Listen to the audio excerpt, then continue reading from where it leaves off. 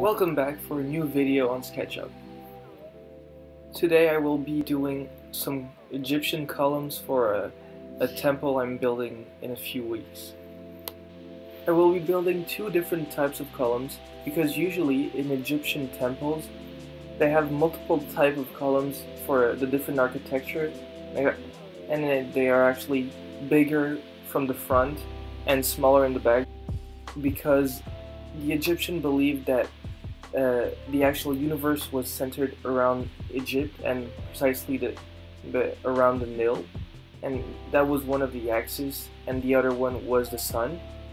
So they would um, they would build their temples accordingly, and the front of the temple would be wider, while in and have a lot of sunlight, but the back of the temple would be really small.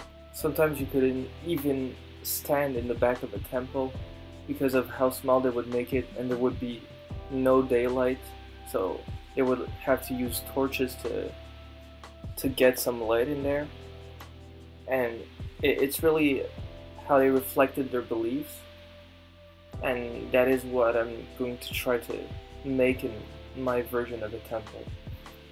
I actually started this project because I, I just bought the Assassin's Creed Origin, which I know it's a game from 2017, but still, uh, I decided to buy it right now, and I started playing it, and and the game is focused around the Egyptian life, and well, uh, it shows a lot of the architecture from that time because it's it's a big map. It's like 80 kilometers wide and I'm not going to enter in too much details because that's not the goal of today's video, but it really inspired me to create a temple in SketchUp.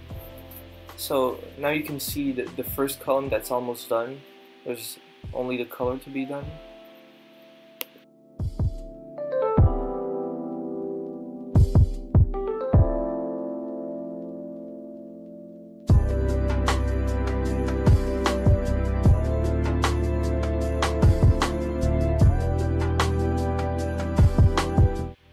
Now I'm going to start with the second column, which, which is a little bit taller, but not as well detailed, and it's more for the front of the temple, and that's why it's bigger, as I said before, the front of the temple is gonna be bigger and, well, really with a lot of uh, sunlight.